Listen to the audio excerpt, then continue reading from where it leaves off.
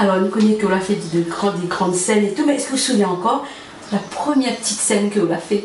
Quel souvenir on a gardé, la première scène que vous a fait? La première scène, la première scène m'avait joué, m'avait 15 ans, je crois, c'était devant la mairie Tampon.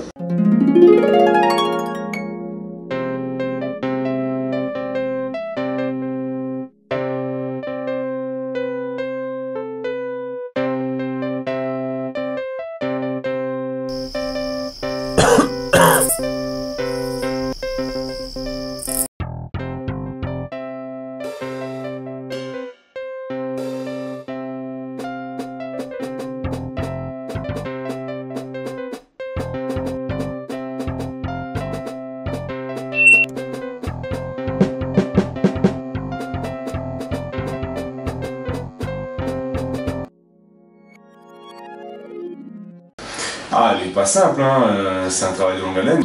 Bon, Dieu a ce don-là, ce talent-là, donc il essaye de, de, de faire au mieux avec.